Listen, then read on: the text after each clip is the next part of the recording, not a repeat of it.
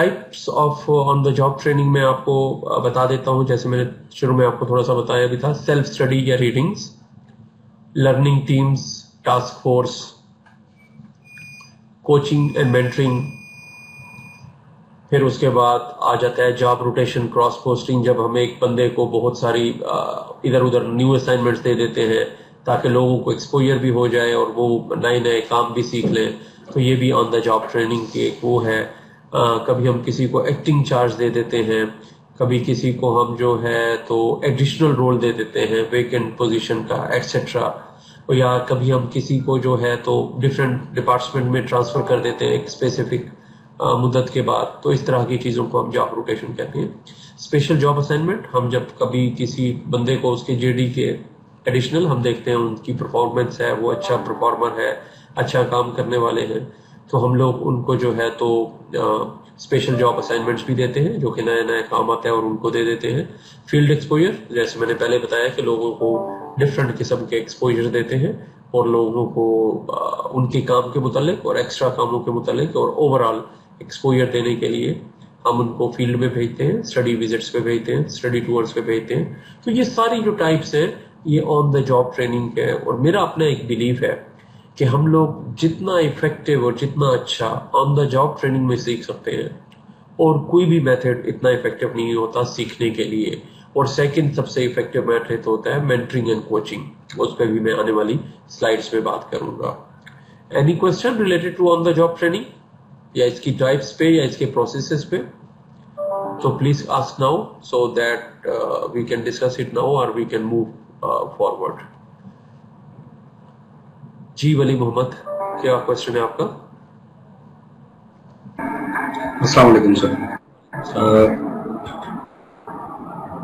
Sir succession planning के बारे में जब डिस्कशन हुई थी तो ये कभी कभी हम ये यूज़ करते हैं कि उसको डाइवर्सिफाइड रोल देते हैं। जैसे अभी आपने बात की ना कि उसके जेडीज के अलावा आप उसको टास्क दे देते हैं।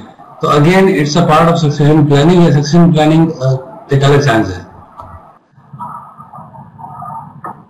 नहीं, ज़रूरी नहीं है कि उनको जब हम उनकी जॉब के अलावा रोल देते हैं तो ये सक्सेशन प्लानिंग होती है।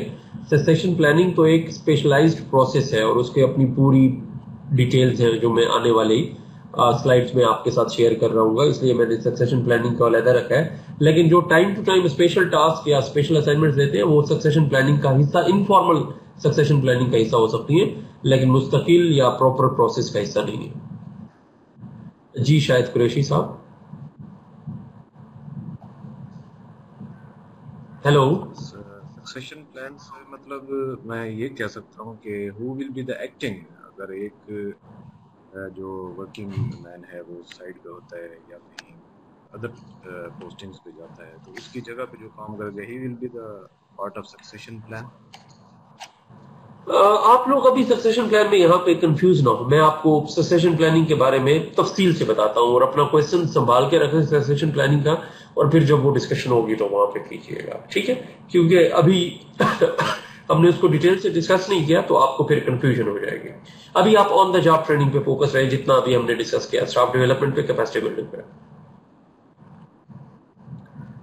जी, अगर कोई क्वेश्चन नहीं है तो हम नेक्स्ट स्लाइड पे चलते हैं। तो हमारे साहब प्लीज़ नेक्स्ट स्लाइड कर दीजिए अच्छा अब जैसे मैंने कहा कि पहला हमने ऑन द जॉब ट्रेनिंग देखा जो कि बहुत इंपॉर्टेंट एस्पेक्ट है डेवलपमेंट प्लान्स का और कैपेसिटी बिल्डिंग का। दूसरा एस्पेक्ट है परफॉर्मेंस एंड डेवलपमेंट प्लान्स बहुत तफसील से बात की थी हमने लास्ट सेशन में जो कि एक्सक्लूसिव हमारा परफॉर्मेंस अप्रेजल पे और परफॉर्मेंस मैनेजमेंट पे था। आ, हम लोग परफॉर्मेंस प्लान्स क्या होते हैं और डेवलपमेंट प्लान्स क्या होते हैं मैंने उसमें आपको थोड़ा सा टच दिया था। आ, बहुत ब्रीफली हम इसको डिस्कस कर लेते परफॉर्मेंस प्लान होता है जी developing performance plan is a collaborative process between manager and employee that establish performance expectation to include competencies, goals and responsibilities.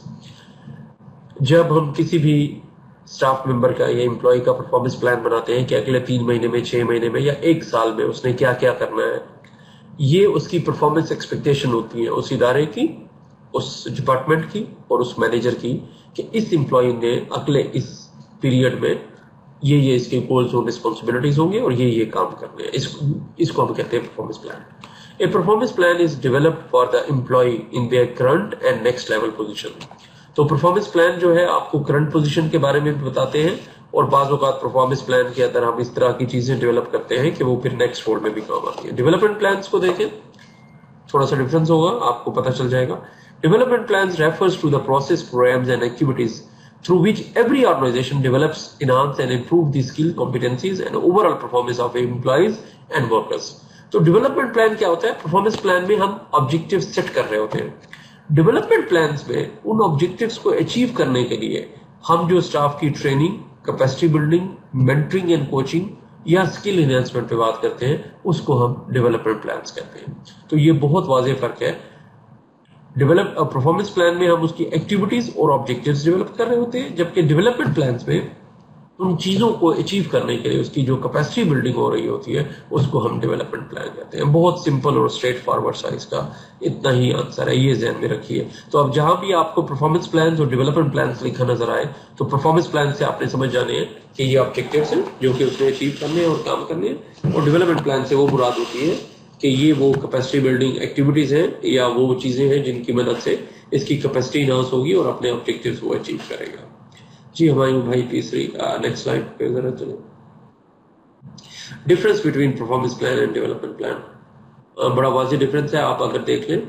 Performance plan में सेटिंग ऑफ़ टारगेट्स होता है जबकि डेवलपमेंट प्लान से enables that help in achieving those targets, जैसे मैंने पहले बता दिया। Performance plan set in the beginning or development plans during and after assessing performance. ये परफॉर्मेंस की असेसमेंट के वक्त भी हम बना सकते हैं और परफॉर्मेंस के दौरान भी बना सकते हैं कि जब हम देखें कि लोग सही काम नहीं कर रहे और अपने ऑब्जेक्टिव अचीव नहीं कर रहे तो फिर हम अंदाज़ा लगा सकते हैं कि मैं भी किसी कैपेसिटी का गैप है या कैपेसिटी के इश्यूज़ है तो फिर हम उसका डेवलपमेंट प्लान बना सकते हैं। ये जो दोनों होते हैं परफॉर्मेंस परफॉर्मेंस प्लान जो होता है, वो लिंक्ड होता है ऑर्गेनाइजेशनल गोल के साथ। मैं एज ए एच मैनेजर जो भी अपना परफॉर्मेंस प्लान बनाऊँगा, वो जो जो भी मेरी ऑर्गेनाइजेशन के गोल्स होंगे, उनके साथ लिंक करेगा। जबकि जो मेरा डेवलपमेंट प्लान होगा, उसका लिंक होगा मेरे परफॉर्मेंस प्लान से। क्योंकि डेवलपमेंट प्लान हमेशा निकलते हैं परफॉर्मेंस प्लान से।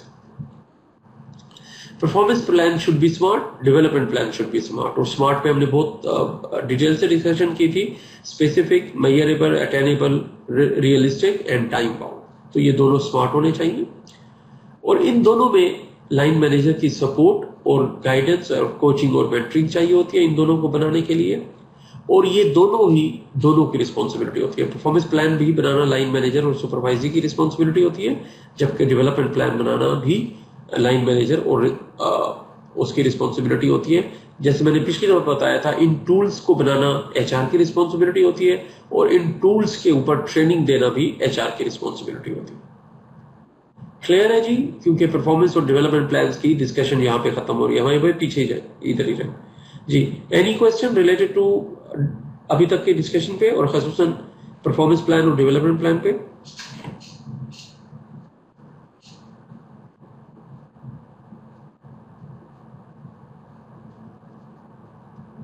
कोई क्वेश्चन नहीं आ रहा, ठीक है? क्लियर हो गया। तो नेक्स्ट चले हमारे भाई। अब नेक्स्ट हमारा था कोचिंग एंड मेंटरिंग अब मैं आप में से कोई एक वॉलंटियर चाहूँगा जो अपना कोई एक्सपीरियंस मुझे शेयर करे। जैसे स्लाइड पे लिखा हुआ है my experience think of one experience when someone was able to help you आप सोचे। Learn something new which you had difficulty learning on your own ठीक है? आपको एक ऐसा एक्सपीरियंस सोचे जब आपको कोई एक काम नहीं आता था। और किसी ने आपकी मदद की। आप एग्ज़ाम्पल ले लेते हैं साइकिल चलाने की मोटरसाइकिल चलाने की एम एस ऑफ़िस चलाने की एम एस एक्सेल चलाने की whatever you can think कोई अपना एक एक्सपीरियंस और फिर आप सोचें what is it about the person that made it possible for you effectively run और फिर उस बंदे ने जिसने आपको सिखाया, उसमें कोई ना कोई तो ऐसी बात होगी ना, जिसकी वजह से जो काम आपको पहले नहीं आता था, अब आपने करना शुरू कर दिया। जैसे मैंने एक्सेल की बात की एम एस ऑफ़िस की बात की एम एस पावर पॉइंट की बात कर लें। आपको इंटरव्यू कंडक्ट करना नहीं आते थे, आपको इंटरव्यू स्केड्यूल बनाना नहीं आता था एटसेट्रा एटसेट्रा वट एवर तो वो चीज़ें क्या हो सकती हैं? उसका करेक्टरिस्टिक हो सकता है, उसकी स्किल्स हो सकती हैं और उसके एटीट्यूड हो सकते हैं। तो इनमें से कोई ना कोई एक ऐसी बात होगी जिसने कि आपको इंस्पायर किया होगा और उन्होंने सिखाने वालों ने उसकी मदद ली होगी और आपने फिर वो सीख लिया होगा। तो इस पूरे प्रोसेस को हम कहते हैं कोचिंग और उस बंदे को कहते हैं कोच हमारे हुए नेक्स्ट स्लाइड जरा बताइए। अब कोचिंग होती क्या है और कैसे की जाती है, अब ये देखें। An interactive process through which managers solve performance problems और डेवलप एम्प्लॉय कैपेबिलिटीज कोचिंग एक ऐसा प्रोसेस है इंटरेक्टिव प्रोसेस है वन वे प्रोसेस नहीं है which manager solve performance problem जिसकी वजह से परफॉर्मेंस के प्रॉब्लम सॉल्व किए जाते हैं और एम्प्लॉयज़ की कैपेबिलिटीज या परफॉर्मेंस गैप्स को खत्म किया जाता है और कैपेबिलिटीज को इंप्रूव किया जाता है। इसको हम कहते हैं कोचिंग अब इसमें दो लोग होते हैं। एक को हम कहते हैं कोच और एक को कहते हैं कोची जो बता रहा होता है, वो होता है कोच और जो सीख रहा होता है, वो होता है कोचिंग, जिसकी कोचिंग की जा रही होती है। और बेसिक पर्पज क्या होता है? कि इसके परफॉर्मेंस प्रॉब्लम्स को या परफॉर्मेंस गैप को दूर किया जाए। और एक मैनेजर जहाँ पे मैंने यहाँ पे मेंशन किया can be a very good coach as well manager can be a very good mentor as well तो आप में से जो जो लोग भी मैनेजर हैं डिफरेंट कोई मैनेजर एच आर होगा, कोई फाइनेंस होगा, कोई प्रोग्राम को देख रहा होगा। तो आपका एक रोल कोचिंग का भी बनता है और आप अपने एम्प्लॉयज़ को और स्टाफ को कोचिंग कर रहे होते हैं। वाल तो हमें पता हो या ना हो कि ये कोचिंग है या नहीं है बट हम किसी न किसी लेवल पे एज ए मैनेजर कोचिंग कर रहे होते हैं। नेक्स्ट स्लाइड पे जाइए जरा हमें कोचिंग में हमेशा चार स्टेप इन्वॉल्व होते हैं। सबसे पहला प्रिपरेशन होता है। कि जब कोच और कोचिंग मिलके किसी एक स्पेसिफिक टॉपिक पे, किसी एक स्पेसिफिक चीज़ों पे डिस्कशन करते हैं और प्रिपरेशन करते हैं। ठीक है? दूसरे नंबर पे उसकी डिस्कशन आती है कि जब एक इशू आइडेंटिफाई हो जाता है, फिर उसके ऊपर मुख्तलिफ़ डिस्कशन होती है। डिफरेंट एस्पेक्ट्स डिस्कस होते हैं। फिर एक्चुअल कोचिंग होती है। फिर आपका मैनेजर आपका कोच आपको बताता है कि what are the issues and how to solve them as well और फिर उसके बाद फॉलो अप होता है कि कोचिंग कभी भी ऐसा नहीं होता कि बस कोच बताता जाए और हम सुनते जाए, बल्कि वो स्किल्स प्रैक्टिस करना लाजमी होती है और फिर उनका फॉलो अप भी बहुत लाजमी होता है कि जो जो नई स्किल्स सीखी जा रही हैं, उनको जब मैंने प्रैक्टिस किया तो मुझे किस किस्म के इश्यूज़ आए और किस किस्म के प्रॉब्लम्स आए।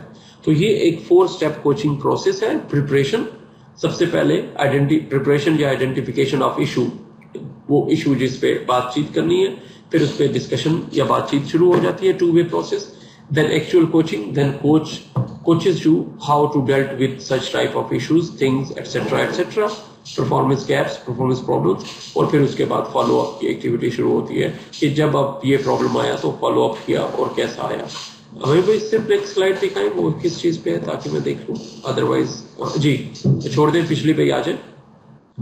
जी कोचिंग को हमने मुकम्मल कर लिया है तो अब कोचिंग के ऊपर कोई सवाल हो, क्योंकि ओवरऑल हम डेवलपमेंट एम्प्लॉय डेवलपमेंट और कैपेसिटी बिल्डिंग को देख रहे हैं, और अभी तक हमने तीन चीज़ें उसमें देखी है तो थर्ड वन इज़ कोचिंग तो बताइए कोचिंग के ऊपर किसी का कोई सवाल है इस प्रोसेस के ऊपर?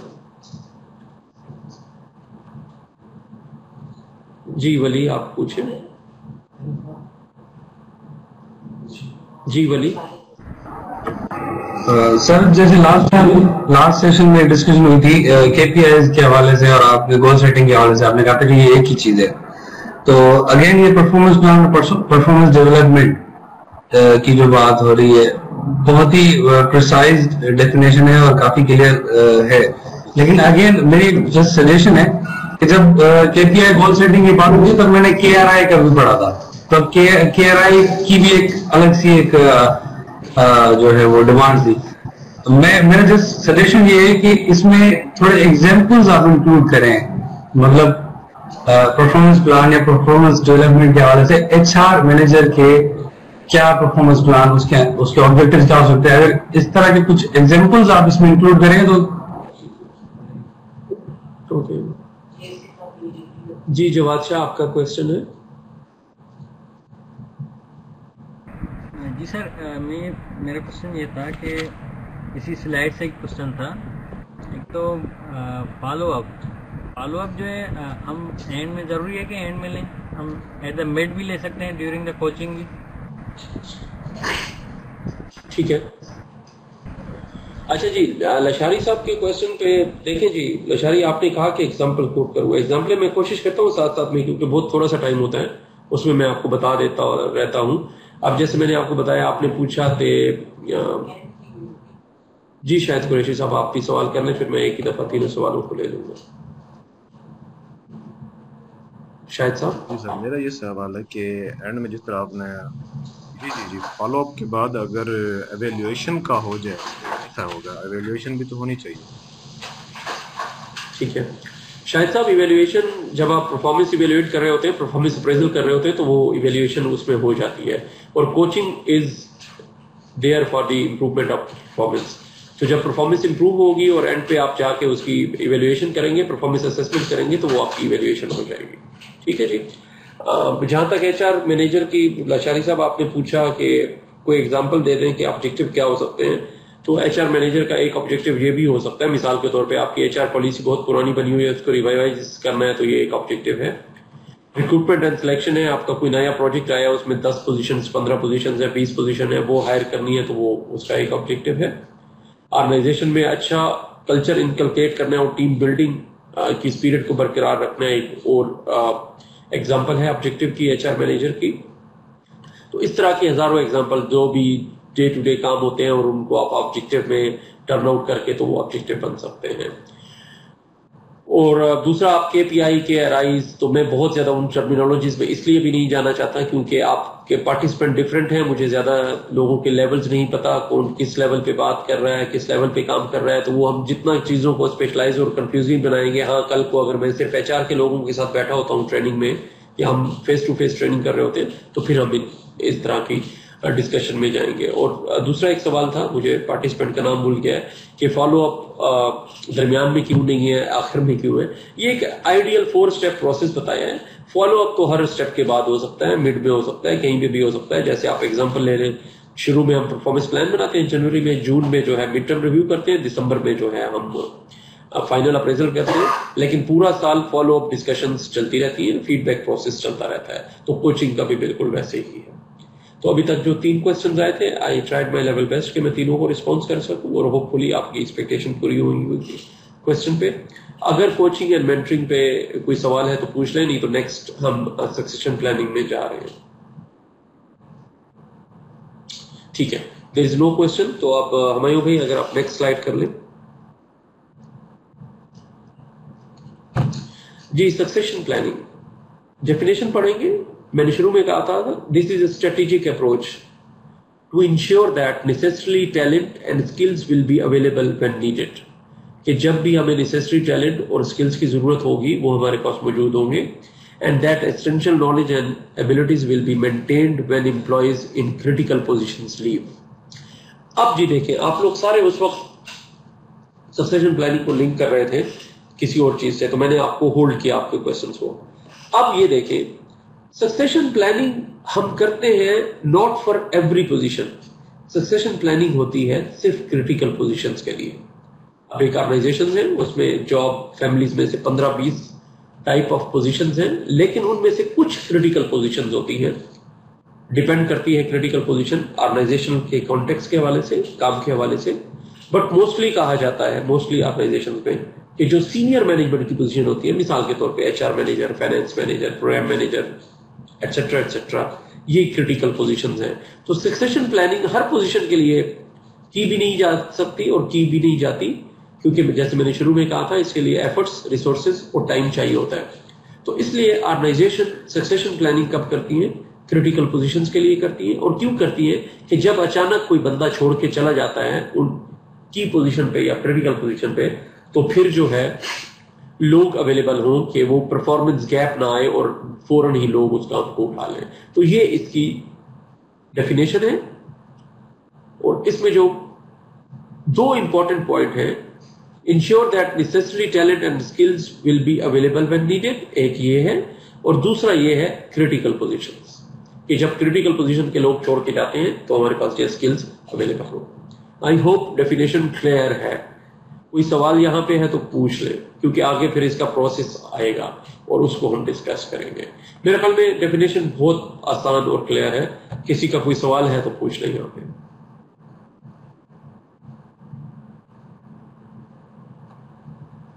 Clear no question please go to the next slide अब इसके भी फाइव स्टेप प्रोसेस है। अब ये देख ले से समझिए। सक्सेशन प्लानिंग के लिए सबसे पहला स्टेप जैसे मैंने अभी बताया आइडेंटिफाई क्रिटिकल पोजिशन हर ऑर्गेनाइजेशन का अपना कॉन्टेक्स्ट है, हर ऑर्गेनाइजेशन खूब बेहतर समझती है कि उनकी क्रिटिकल पोजिशन कौन कौन सी है। तो सबसे पहले आपने आइडेंटिफाई करनी है क्रिटिकल पोजिशन वो दो है, चार है, पाँच है, दस है whatever it is number two identify competencies किसी एक पोजिशन को के लिए डिफरेंट कॉम्पिटेंसीज हो सकती है। मिसाल के तौर पे एचआर मैनेजर की पोजीशन अगर क्रिटिकल है तो उसकी कॉम्पिटेंसीज अलग होंगी। प्रोग्राम मैनेजर की पोजीशन है तो उसकी कॉम्पिटेंसीज अलग होंगी। मॉनिटरिंग एंड इवेल्युएशन मैनेजर की पोजीशन है तो उसकी कॉम्पिटेंसीज अलग होंगी।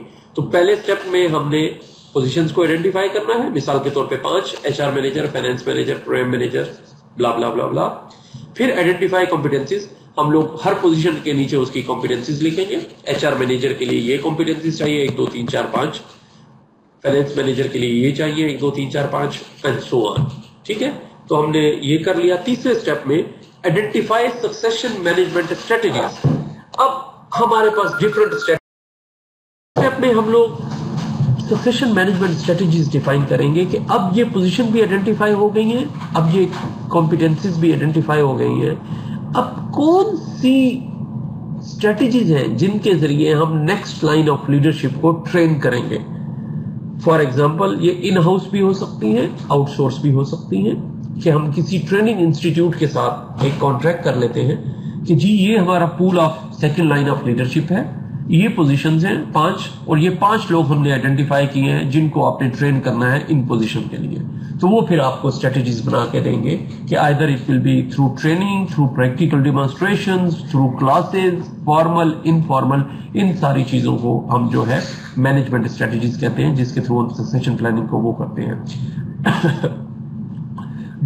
Sorry document and implement succession plan फिर हम इन सब की चीज़ों की डॉक्यूमेंटेशन करते हैं और इन पे सक्सेशन प्लानिंग को इम्प्लीमेंट करते हैं और एंड पे इवेल्युएट इफेक्टिवनेस और जब ये प्रोसेस पूरा हो जाता है तो हम उसकी इवेल्युएट इफेक्टिवनेस करते हैं। इवेल्युएट इफेक्टिवनेस कैसे हो सकती है कि हमने एक साल का प्रोसेस डिज़ाइन किया था, उस एक साल के दौरान दो पोजीशन वेकेंट हुई। मिसाल के तौर पे एचआर मैनेजर और फाइनेंस मैनेजर छोड़ के चले गए और हमारे जो पाँच आइडेंटिफाई लोग थे उन लोगों में से दोनों को हमने इंटरव्यू किया और वो दोनों सिलेक्ट हो गए एज ए मैनेजर या दो पोजीशन आई, दोनों को इंटरव्यू किया, उनमें से एक हो गया और एक नहीं हुआ.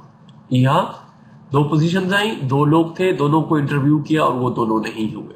ये तीनों पॉसिबिलिटीज हो सकती है. वो दोनों हो सकते हैं, उनमें से कोई एक हो सकता है, वो दोनों नहीं भी हो सकते तो फिर आपको इवेल्युएट करना होगा अपनी इफेक्टिवनेस को. दोनों हो गए तो आपकी इफेक्टिवनेस आपके सामने है.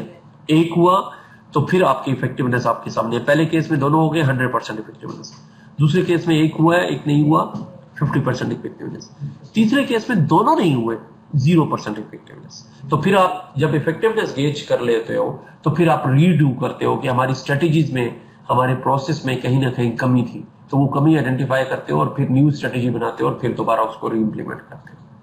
क्लियर है जी? हमें भाई जरा नेक्स्ट स्लाइड दिखाएँ। एक सेकंड अच्छा। ठीक है। आप पिछली स्लाइड पे चले जाए जी सक्सेशन प्लानिंग की डेफिनेशन और प्रोसेस पे कोई क्वेश्चन इन दो स्लाइड पे। वाव इम्प्रेसिव कोई क्वेश्चन नहीं है तो इट मीन के बिल्कुल समझ आ गया, लेकिन मैं दूसरा मतलब लेता होता हूँ कि कुछ भी समझ नहीं आया शायद। अच्छा क्योंकि क्वेश्चन कोई नहीं आया तो कोई एक साथी अगर मुझे बता दे कि आप लोगों को सही समझ आ गया ये पूरा कॉन्सेप्ट सक्सेशन प्लानिंग का एनी वॉलंटियर जो कि थोड़ा सा बता दे हमें।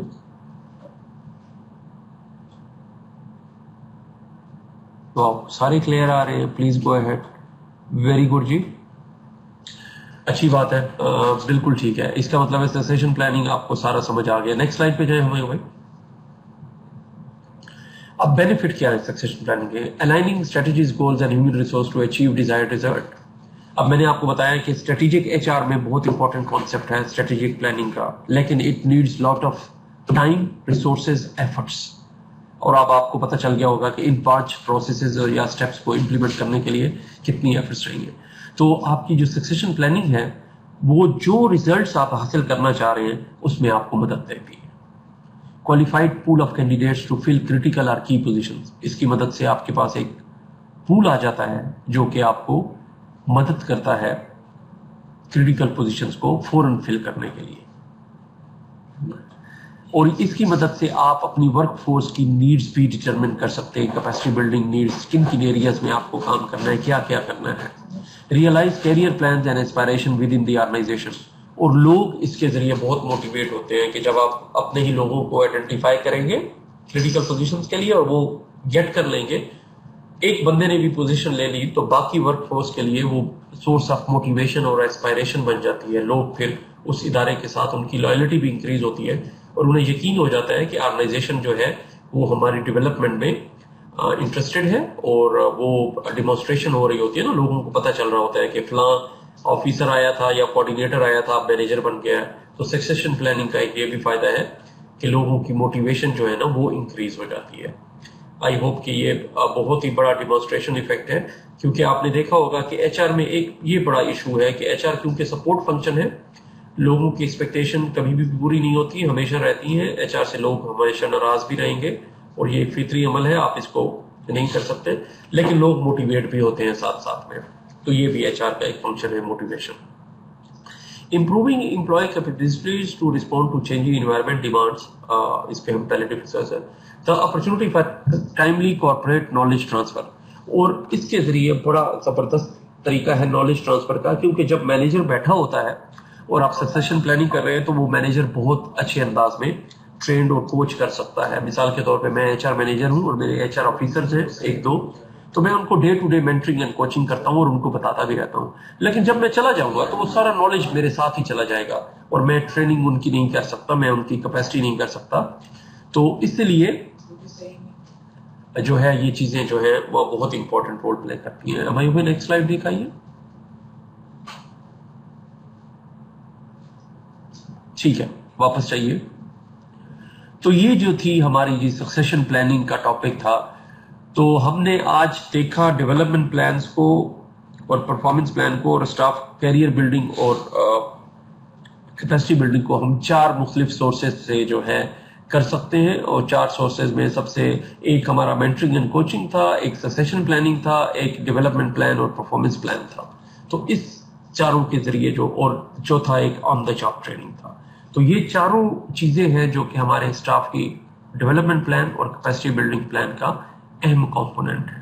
तो आज का सेशन मैंने यहाँ तक ही डिज़ाइन किया था, क्योंकि आप लोगों को ये एक सेंस देना था। तो अभी now this is open for question if related to the session or others as well